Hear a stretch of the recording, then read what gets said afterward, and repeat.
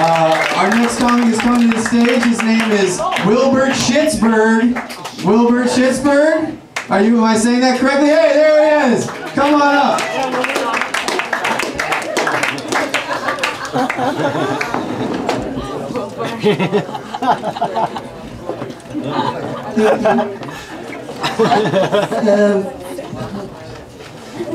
Yeah, Wilbur. How you guys doing? I'm over at Pittsburgh. Kind of nervous up here. Uh, so, we got some notes.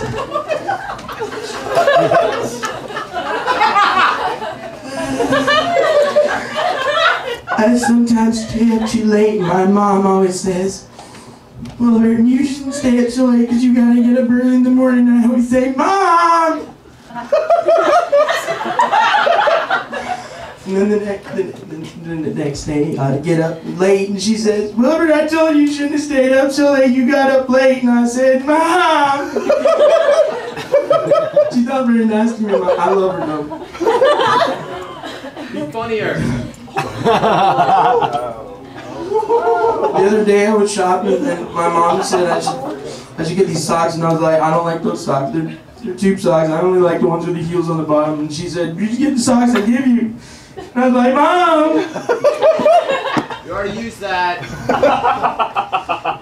Well, anyway, so I was I was getting ice cream cone the other day. And my mom said, "You shouldn't get any more ice cream.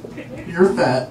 And I said, "Mom, Mom jokes. Dude, shut up! you shut up. Shut the fuck up! You think you can do better than this? I dare any one of you to do better than this." I'll tell you who can do funnier. Scott Little? Scott Little here? Scott Little's next. Oh, Wilbur. Where's Scott Little? Dave Schilling? Go to the yeah, Dave oh, Schilling. Dave He's Schilling. next! Dave Schilling. He's gonna be funny, guys. Don't worry. He's not gonna talk about his mom. Dave Schilling. Dave Schilling. We expected better, Wilbur. Whatever. It was all part of the end.